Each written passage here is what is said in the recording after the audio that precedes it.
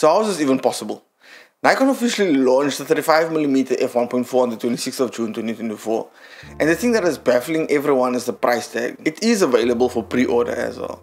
Now, we'll get to the reason why this is. Let's first look at what competitors' prices are currently ranked at.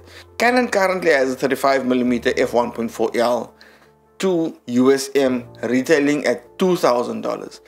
Sony has a Sony FE 35mm f1.4 GM retailing at $1,400.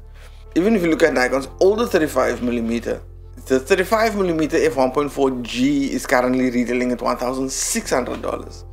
So that is where everyone is like, something's not right here. This is where the difference comes in. So if you look at the specific lens, you'll see there's a 35mm f1.4, and if you look at the f1.8 you'll see is f35mm f1.4s so that's the difference. This is not part of the s line. S lines has a shorter flange focal distance. It has a larger inner diameter as well as eliminating chromatic aberrations. So these three things specifically are the three things that set the S line apart from this. From a marketing perspective, I have to say that Nikon is absolutely brilliant when it comes to this because they've just released a Z6 III, which is a top tier mid-range mirrorless camera.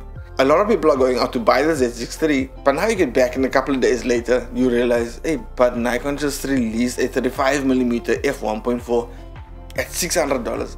It's absolutely brilliant. you know, a hybrid camera and and with brilliant videography features or video features as well. And a 35mm f1.4. So this 35mm will work perfectly for video, it will work perfectly for photo as well. So now you have this combination, it's like, ha, I can spend an additional $600 in order for me to get this 35mm.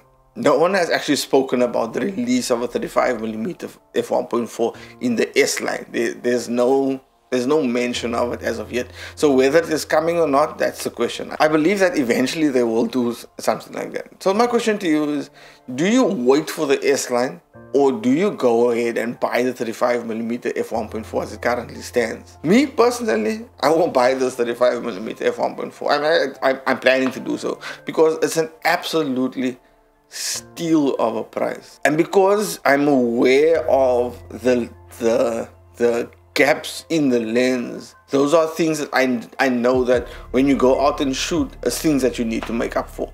Let me know in the comments what you think. Is Nikon brilliant when it comes to marketing? Is this a lens that you will definitely go and buy? I want the last for words. These people were smart. They were very smart.